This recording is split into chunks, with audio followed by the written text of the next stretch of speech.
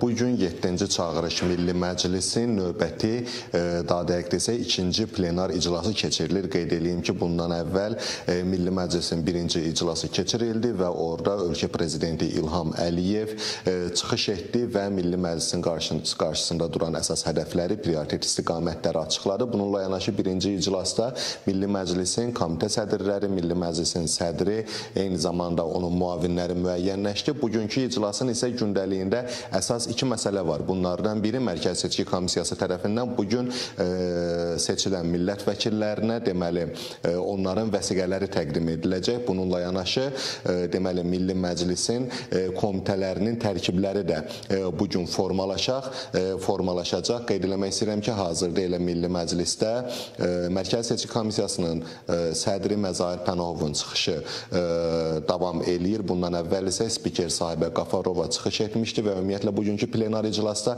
daha başqa nələr müzakirə olunacaq? E, təbii ki, bu barədə də məlumatları əldə edən kimi həmin müzakirələr zamanı e, müzakirələr belə deyə başa çatdıqdan sonra sizin və tamaşaçılarımızın diqqətinə çatdırmağa çalışacağıq.